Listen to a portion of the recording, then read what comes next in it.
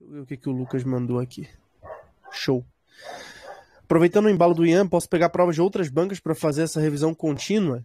Essa, essa semana fecha a história do Brasil, daqui a duas semanas geral. Vou começar pelas provas do nível do Enem, até chegar ao nível da FUVEST, por exemplo. Estou pegando só as da PrEP por enquanto. Sim, sim, com toda certeza. Provas aí é, do, do, Brasil inteiro, entendeu? É, se, sempre recomendo você pegar o máximo de provas que você puder. Você ter o máximo, conhecer o máximo de modelos de questão que você puder.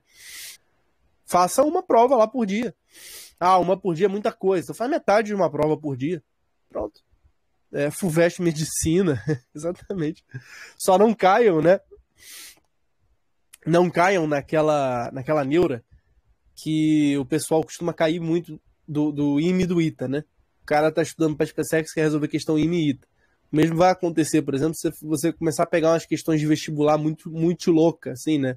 As questões de interpretação de texto que você precisa ter nem um sexto sentido, tem que ter o oitavo sentido para conseguir eh, deduzir o sentido do texto.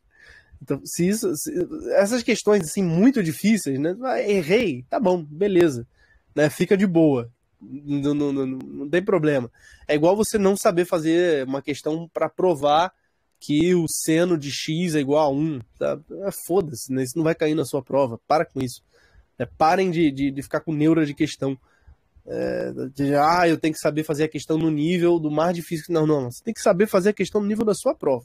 É assim que funciona. Se sair o mais difícil também, pô, excelente.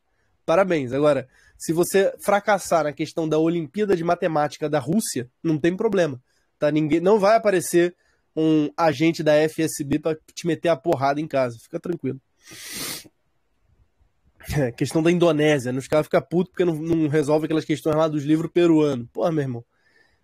É caraca, cara, tu não, tu não vai fazer vestibular do Peru, pô. Então tá de boa, entendeu? Para com isso. Para com isso.